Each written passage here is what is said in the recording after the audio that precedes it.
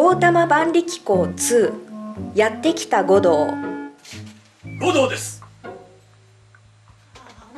五郎さん。いえ五道。お父さん。違います。五郎。じゃなくて五島あじゃなくて。世界的な不条理劇の古典であるベケットの五道を待ちながら今なお待ち続けるウラジーミルとエストラゴンのもとについにそして意外にもあっさりと五道はやってきた。別役稔が50年後の彼らの姿を戯曲化。ゴータマ万力公2が送る爆笑必須のあの名作の後日談。SP 水曜劇場に登場。